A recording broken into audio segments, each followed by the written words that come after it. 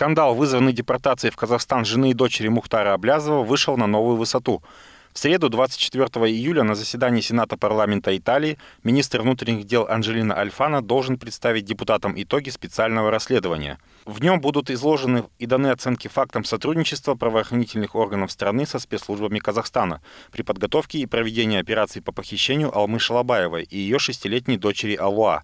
Об этом итальянским СМИ рассказала министр иностранных дел Итальянской республики Эмма Банина. Доклад еще не обнародован, но, судя по всему, его авторам такие факты установить удалось. Именно этим объясняется желание официальных лиц изгнать казахстанского посла из Рима.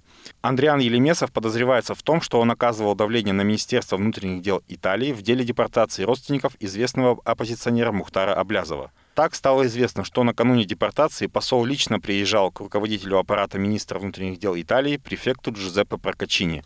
Сразу после этого визита и последовала ночная спецоперация в доме Алмы Шалабаевой в пригороде Рима. Бывший дипломат Казбек Бисибаев считает, что Италия на обострение отношений с Казахстаном не пойдет. Неофициальные заявления главы итальянского МИДа преследуют цель мягкой замены оскандалившегося казахстанского посла.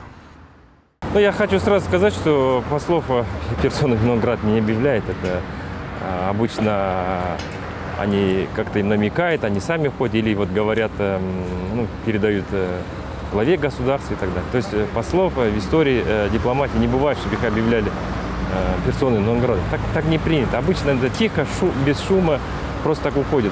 Сам господин Елемесов сразу после скандала ушел в отпуск. Казахстанский МИД, похоже, тоже взял дипломатическую паузу. Все время после обеда и до вечера вторника рабочие телефоны министерства не отвечали. Thank you.